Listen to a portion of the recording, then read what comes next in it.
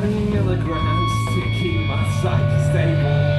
You focus out of focus, and I'm struggling to be able to form a coherent sentence, but I'm firmly